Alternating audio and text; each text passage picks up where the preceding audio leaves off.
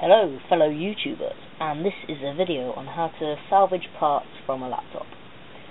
This is my laptop, it is, well its motherboard is dead and I'm going to be taking the parts out of it. All you're really going to need for this is a set of small screwdrivers. This one and this one will be coming in useful.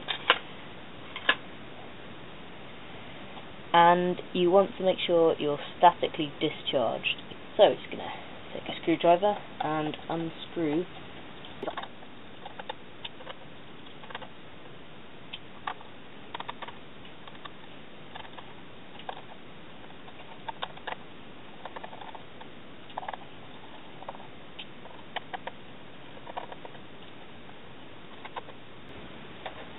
Now just to pull this little tab and undo it slowly and there we are.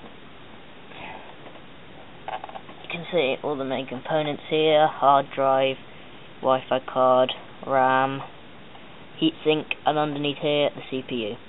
We've also got the DVD drive here. You can see that that'll be under there.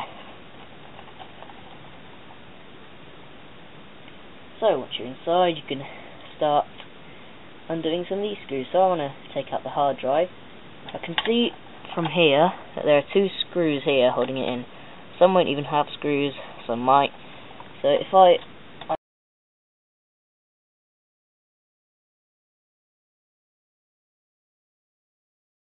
I'll take out the RAM next. You can see it bends quite freely. There are two tabs. I don't know if you can see that there. On each side there's a little tab. Pull that back. It should pop out, which means you can then just take it out. Uh, next easiest thing would be the Wi-Fi card.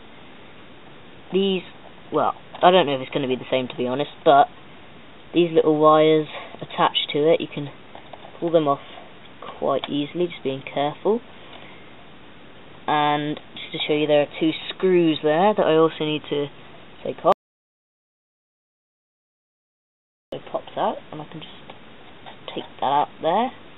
It's the Wi-Fi card, slot in there. Um, DVD drive.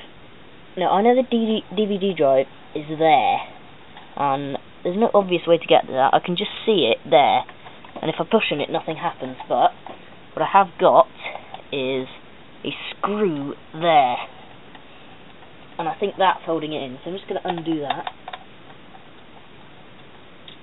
and I'm going to try again. Yep, that's it. DVD drive's out.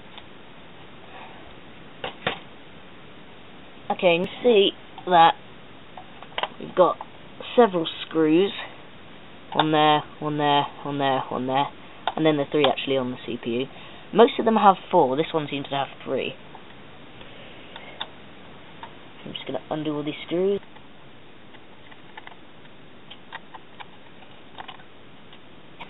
Now we are on the main CPU screws. Now this is a bit more complicated. You'll see that they're numbered most of the time. We've got 1, 2 and 3. Do pay attention to the numbers. On this laptop, these screws don't actually come out all the way. They're held in a bit, but... Yeah, so unscrew them.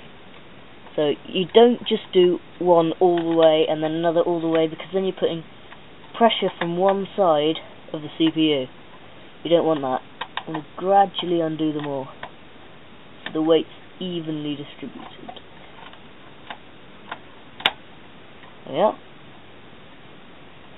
This will slide out of there.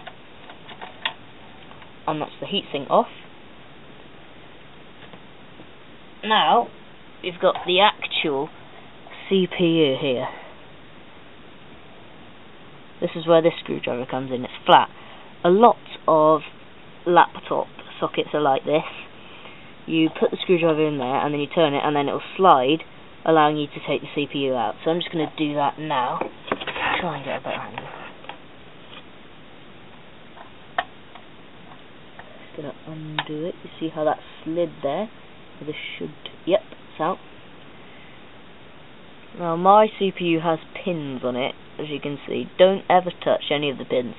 If one of your pins is broken, your computer won't work.